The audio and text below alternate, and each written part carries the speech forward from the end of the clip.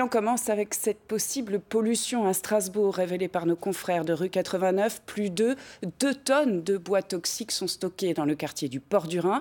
D'anciennes traverses de voies de chemin de fer broyées et stockées sans autorisation. Des déchets pourtant dangereux.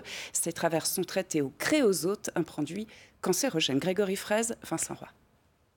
D'immenses tas stockés à ciel ouvert. En tout, plus de 2 tonnes d'anciennes traverses celles qui ont été broyées sont protégées par des bâches pour éviter que de la poussière s'en échappe. Il faut dire que ce bois est hautement toxique. Alors, il est toxique parce qu'il est imprégné de créosote, qui est une goudron, un peu de la naphtaline. C'est un produit qui était utilisé sur les traverses de chemin de fer, notamment pour les, conserver, les rendre imputréfiables et, et contre les insectes.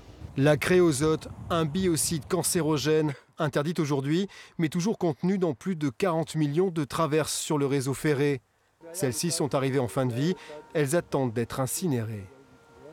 Les grosses particules, il n'y a pas de risque d'envol et on est assez éloigné des habitations, on est, assez éloigné des, écoles et des, lieux sensibles. Donc la situation n'est pas dangereuse dans l'immédiat, cependant il faut faire évacuer ces déchets le plus rapidement possible.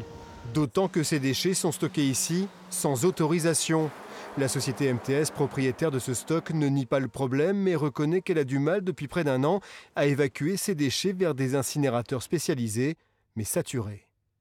Nous travaillons à l'évacuation des traverses vers des filières allemandes agréées, mais incertaines sur les délais.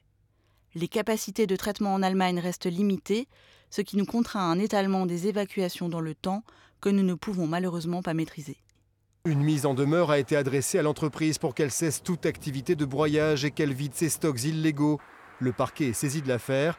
La situation est sous contrôle, mais il faudra sans doute encore des mois pour qu'elle soit régularisée.